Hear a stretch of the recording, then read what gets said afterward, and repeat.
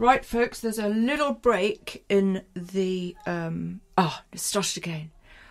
My recording studio is actually in a beautiful um, apartment block, but when we share a garden, we've got a communal garden, so it's been a bit noisy. I've been waiting for the kids to stop playing, but um, I think they've just come out again, so I've missed the boat there. Apologies, a little bit noisy in the background, just ignore it. This ringtone is Forgive Me Please by iServalan. So it's gone through my AI and all my plugins and everything. It's really nice actually. It's quite mournful. It's quite sincere. Um, it's also available, of course, on my Pond 5 if you want a better quality WAV file.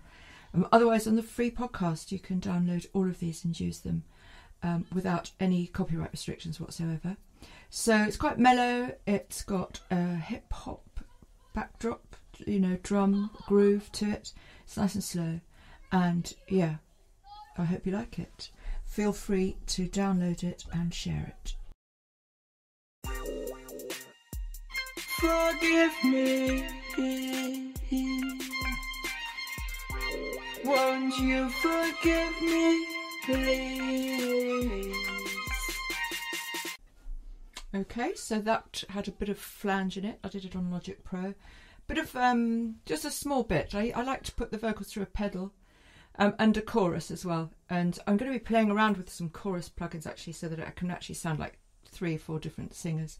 But that's for later in the week. For today, it is a holiday, so let's just enjoy the rest of Sunday with some chill, maybe a gin in the garden. If you've got some, if you've got a butler, you could have have him bring it to you. That would be perfect, wouldn't it?